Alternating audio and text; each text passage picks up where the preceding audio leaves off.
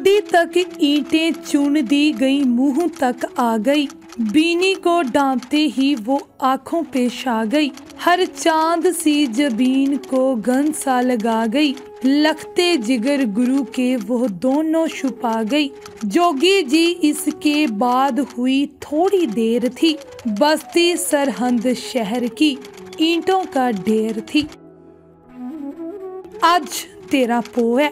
ਇਤਿਹਾਸ ਦਾ ਉਹ ਪੰਨਾ ਜੋ ਕਿਸੇ ਹੋਰ ਧਰਮ ਦੇ ਇਤਿਹਾਸ ਵਿੱਚ ਸ਼ਾਮਲ ਨਹੀਂ ਹੈ। ਛੋਟੇ ਸਾਹਿਬਜ਼ਾਦਿਆਂ ਨੂੰ ਅੱਜ ਦੇ ਦਿਨ ਜਿਉਂਦਾ ਕੰਧਾਂ ਦੇ ਵਿੱਚ ਚਿਣਿਆ ਗਿਆ ਸੀ। ਕੰਧ ਡਿੱਗਣ ਤੋਂ ਬਾਅਦ ਸਮਾਣਾ ਦੇ ਦੋ ਜਲਾਦਾਂ, ਸ਼ਾਸ਼ਲ ਬੇਗ ਤੇ ਬਾਸ਼ਲ ਬੇਗ ਨੇ ਦੋਵਾਂ ਬੱਚਿਆਂ ਦੇ ਸੀਸ ਧੜ ਤੋਂ ਅਲੱਗ ਕਰ ਦਿੱਤੇ ਸਨ।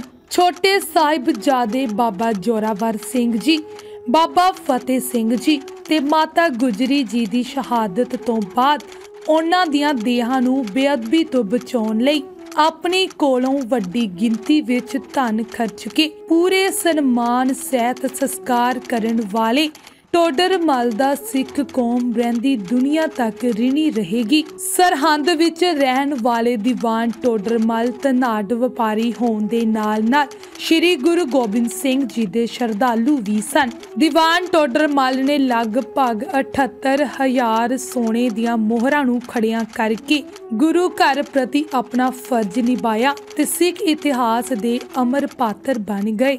ਸਾਹਿਬਜ਼ਾਦਿਆਂ ਨੇ ਆਪਣੇ ਸੀਸ ਭੇਟ ਕਰਕੇ ਸਿੱਖ ਕੌਮ ਅਤੇ ਭਾਰਤ ਦਾ ਸੀਸ ਉੱਚਾ ਕਰ ਦਿੱਤਾ।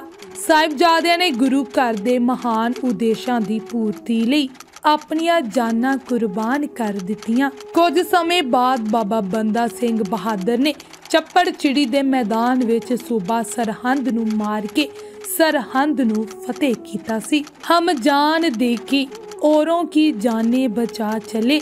सिखी की नींव हम हैं सरों पर उठा चले गुरियाई का है किस्सा जहां में बना चले सिंगों की सल्तनत का है पौधा लगा चले गद्दी से ताज और तख्त बस अब कौम पाएगी दुनिया से जालिमों का निशान तक मिटाएगी ਸਾਹਿਬਜ਼ਾਦਿਆਂ ਦੀ ਸ਼ਹੀਦੀ ਦੇ ਸਬੰਧ 'ਚ ਸ੍ਰੀ ਗੁਰੂ ਗੋਬਿੰਦ ਸਿੰਘ ਜੀ ਨੇ ਔਰੰਗਜ਼ੇਬ ਨੂੰ ਜਫਰਨਾਮਾ ਵਿੱਚ ਲਿਖਿਆ ਸੀ ਕਿ ਕੀ ਹੋਇਆ? ਮੇਰੇ ਚਾਰ ਬੱਚੇ ਮਾਰ ਦਿੱਤੇ ਨੇ।